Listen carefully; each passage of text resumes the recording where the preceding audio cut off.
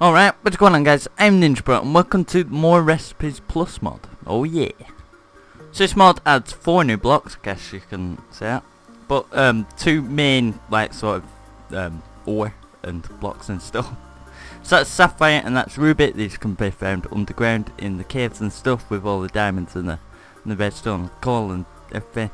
So once mined you will receive one of these, so a ruby and a sapphire. So either which one you you do. Sapphire ruby. Yeah you get that. And then they can be crafted into blocks if you really want.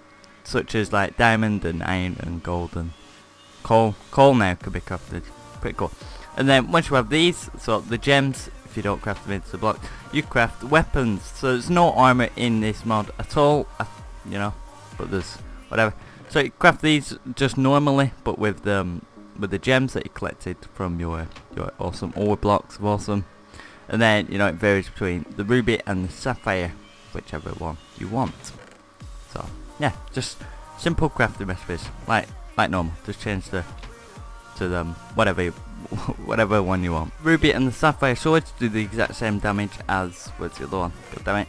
Does the exact same damage as a diamond sword for you might want that what this mod also does is allows uh, better usage of the emeralds finally instead of just the trading, which I never find a village in survival.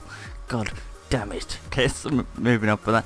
So here it is to just craft it normal like you would iron or a diamond or whatever tools you want, I guess, to change them with the emerald that you've collected. These are more rare. Again, do the same, exact same damage as the diamond sword.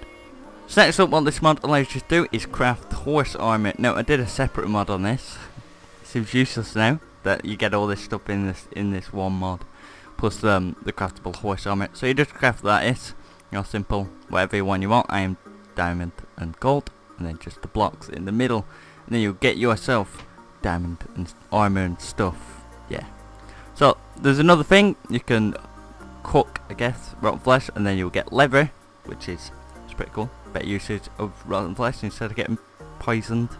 It's not really poison; it's of like hunger poison, whatever. And then last thing you can do is craft a saddle. Yeah. So you just craft that nice and simple. You get the leather from in there if you really want, if you can't find any cows and stuff. But that's really about it. I think I covered everything. If I missed anything, Mr. Mod Creator, I apologise. But if you enjoyed the video, remember to hit that like button and I will see you guys next time.